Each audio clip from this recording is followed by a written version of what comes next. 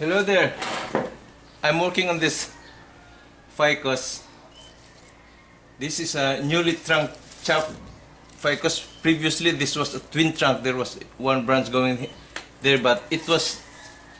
I chopped it because it was of the same height. So, and okay, this was also trunk chop from here because this was this trunk was going straight so okay then. I would like to take this opportunity to show you the difference of carving a trunk chop versus a branch cut. Okay?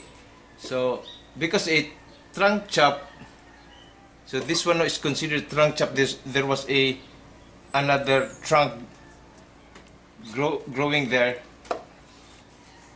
And this is a previously cut branch but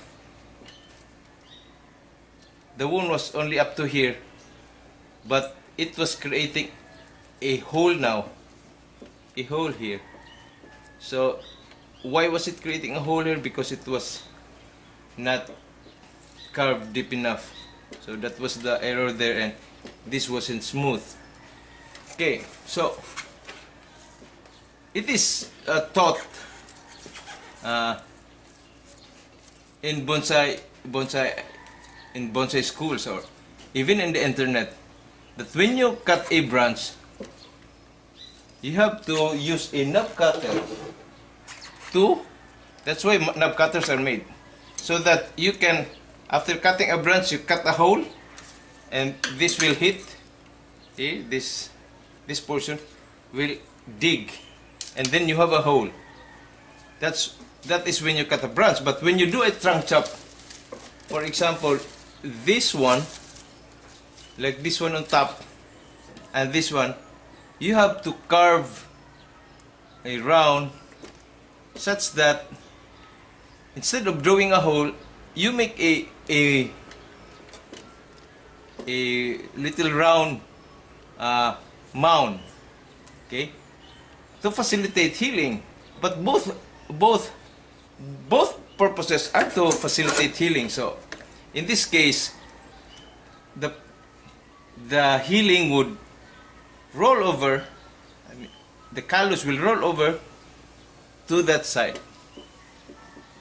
Here here here here.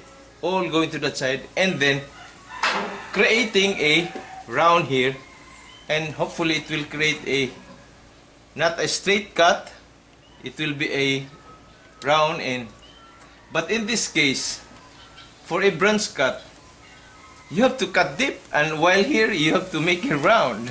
So there is some confusion there. And if you ask uh, bonsai teachers what's the purpose for cutting a a hole here?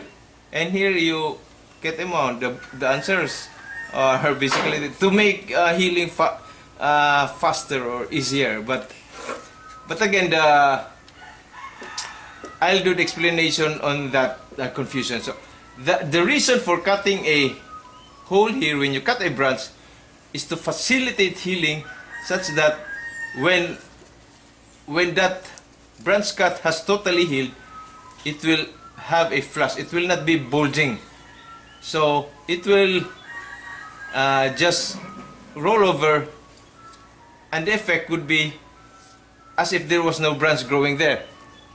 Okay that's for the branch cut. While for a trunk cut uh, you make a mound or you carve around so that when it heals there's a bulge end. So for example in this one.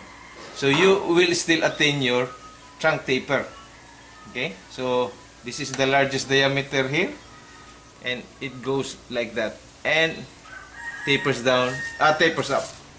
So basically that's the two different two different things. So this branch cut is healing poorly. It's it's bulging and and the callus is way up high than the uh, than the hole there. So I am again nipping this side so that this will repair again and hopefully transition itself better. And this one also, I expect that this will transition itself better. So, okay, that's the side of the big cut. Supposedly, previously this was a straight cut from the saw. Then I make a curve there with a with a knob cutter. Okay, these are the knob cutters. This is large and this is small. Okay, so but then what needs to be done now? You need to smoothing this out, especially this cut here, and such that this will again uh, repair, and hopefully it will close it, close the wound, heal the wound, and uh, it will not be creating a bulge. Anyway, this this uh, this ficus has a long way to go yet. You have to create branches here, then increase. You have to repair this. Also, you need to carve out this one. Okay. So I'll be carving out this one here and there. So I'll be using my grinder, die grinder. Yeah, power grinder. So instead of using a knife, which will be too tedious,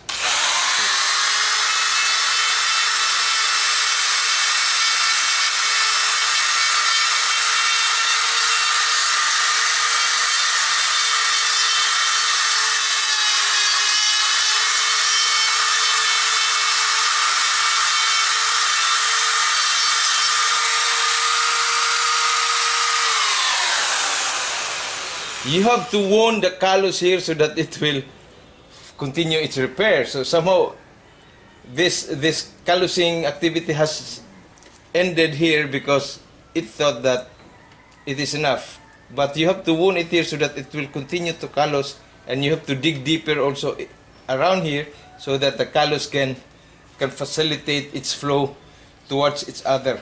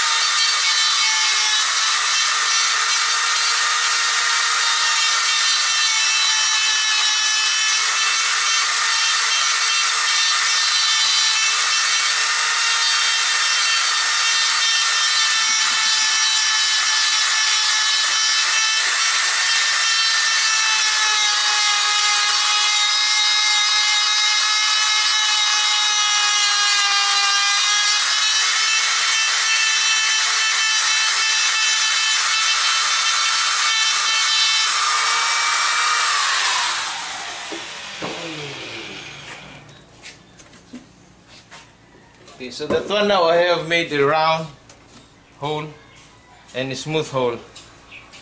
Okay, so the next thing that I will do is to smoothen this side as well. Okay, the next thing to grind is this portion just to round it up.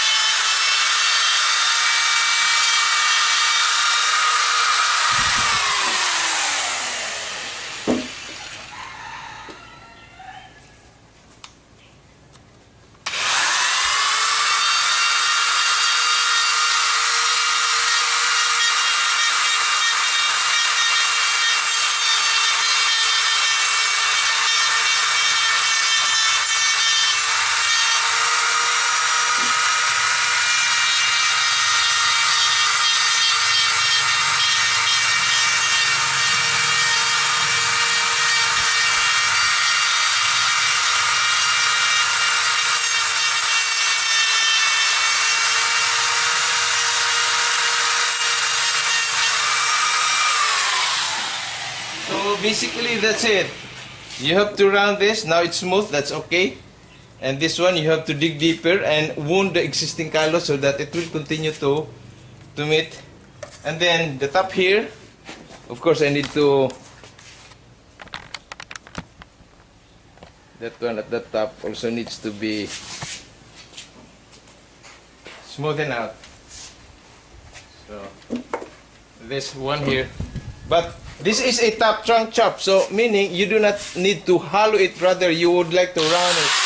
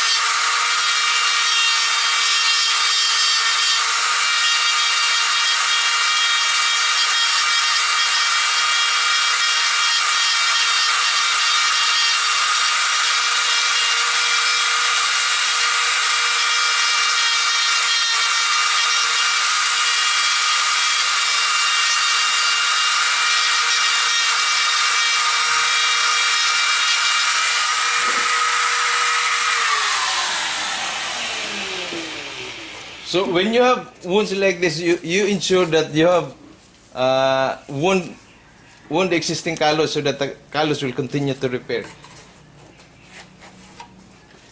So basically that's it. I'll give you a 360.